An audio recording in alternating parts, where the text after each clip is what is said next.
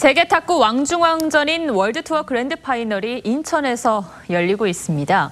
어, 혼합 복식의 단일 팀으로 출전한 우리 남북 선수들이 강호 일본을 꺾고 4강에 진출했습니다. 박상준 기자입니다. 긴장된 표정으로 가볍게 몸을 푸는 한국의 장우진과 북한 차요심. 경기가 시작되자 긴장은 눈 녹듯 사라지고 환상의 호흡을 보여줬습니다.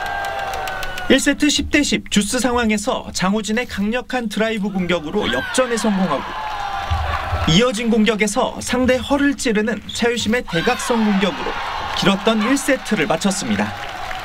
지난해 세계 선수권 우승팀 일본의 요시무라 이시카와조도 만만치 않았습니다. 장우진 차효심조가 한 세트를 따내면 곧장 반격에 나섰습니다. 환상적인 랠리에 이어 차효심의 드라이브가 꽂히자 관중석에서는 탄성이 쏟아졌습니다. 세트 스코어 2대 2로 맞선 마지막 5세트. 최유심의 연속 득점으로 점수를 8대 4, 넉점 차까지 벌렸고 승리를 확정한 뒤에는 서로 부둥켜 안고 승리의 기쁨을 만끽했습니다. 옆에서 너무 잘해줘서 경기에서 이길 수 있습니다.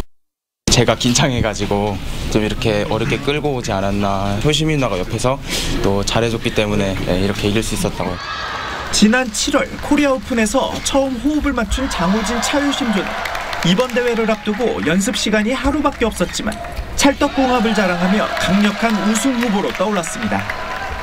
둘은 내일 우리나라의 임종훈 양하은조와 결승 진출을 놓고 다툽니다. TV조선 박상준입니다.